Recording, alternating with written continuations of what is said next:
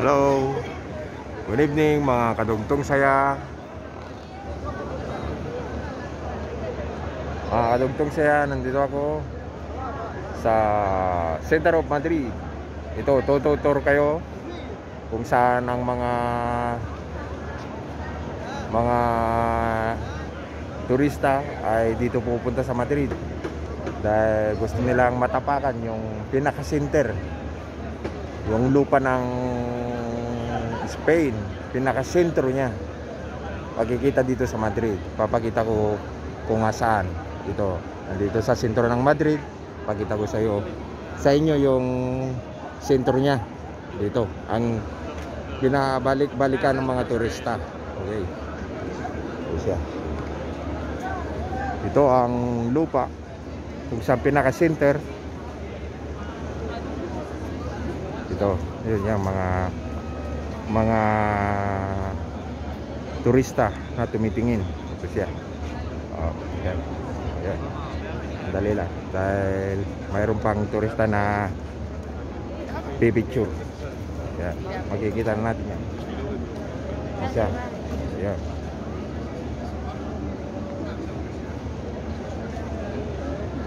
Okay.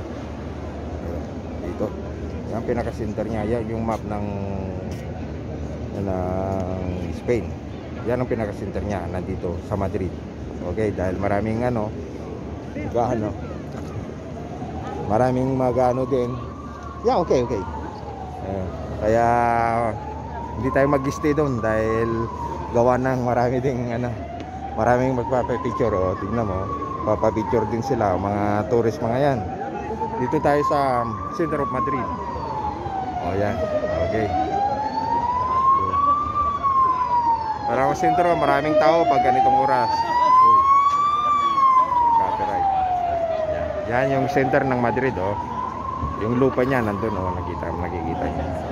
Natapagtabakan. Yan ang hinanap-hanap ng ano mga mga tourist. Malaking bagay sa kanila dahil yung ano tawag dito yung yung ano pinaka-anuit niya oh.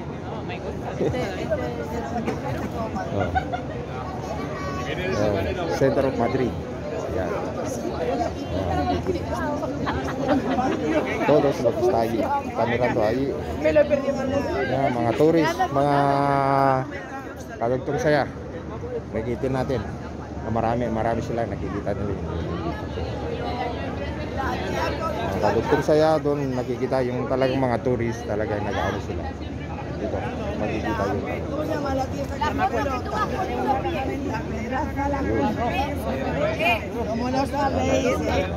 Kaya guys, at ito ang pinaka-center ng Madrid. Makikita nyo.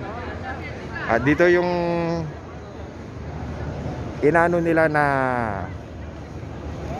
pag New Year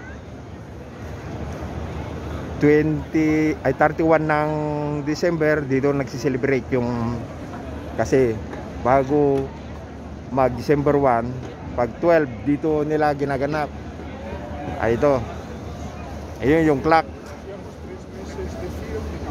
Dito sineselebrate yung tag dito yung celebration ng ubas na bawat kampana niya isang lunok na hindi naman lunok kinakain yung isang mansanas hanggang 12 12 na mansanas kasi yun eh. Dapat makain mo yon yung dosing kampana niya din niya. Dapat makain mo. Tapos katapos magwis ka yun ang tr- tradisyon dito sa Spain. Ano dito maraming tao yung pag ano ganitong pag December 31 dito ang ano pinakamaraming tao dahil dito nila sineselebrate ang 31 ng New Year. Kaya pag dito ay dito. Maraming tao dito. Kaya lagi silang nakanda na. Pag 31 ng hapon marami ng tao dito. Nag-aabang na hanggang 12 ng gabi para i-celebrate ang bagong taon dito sa zona na ito. Dito punong-puno ang tao dyan pag ano Kaya tinutur ko kayo para alam nyo dito sa sentro na ito dito ang dagsanan ng mga turista. Karamihan mga restaurante karamihan mga tsinda na talagang mga tindahan na quality mga pangalan na tindahan mga product na quality. Kaya ito makikita dito lahat. Halimbawa doon hanggang doon lahat yan mga mga tindahan at mga restaurant na mga famous.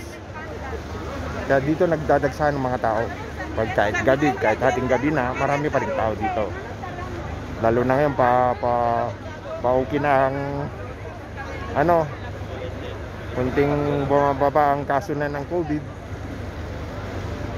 Eh dumadami na ang tao dito sa labas dahil wala nang limit ang ano dati hanggang 12 lang.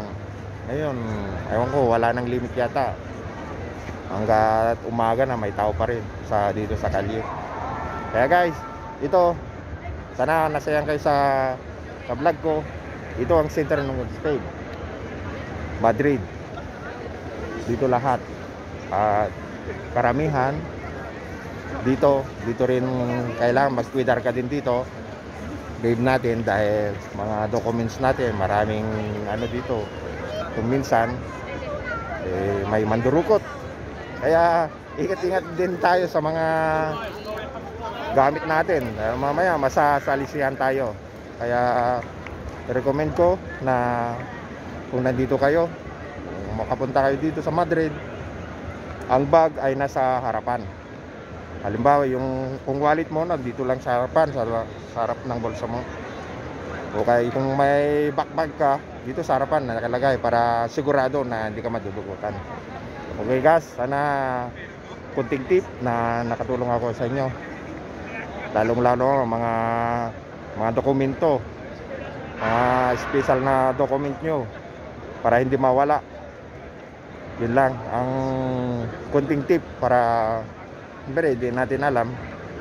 May masalisihan tayo ng mga mga mapagsamantalang tao. Thanks God. Eh, sana ulit una sa sa ating buhay, huwag makakalimot sa Diyos. And God bless. Mabuhay kayo. Sana ay eh, salamat sa panunood at lalong lalo na ay nakatulong ako sa inyo sa kunting tip na yun. Sa susunod, kung anong iba-vlog ko, sana ay magustuhan nyo. Bye-bye. God bless.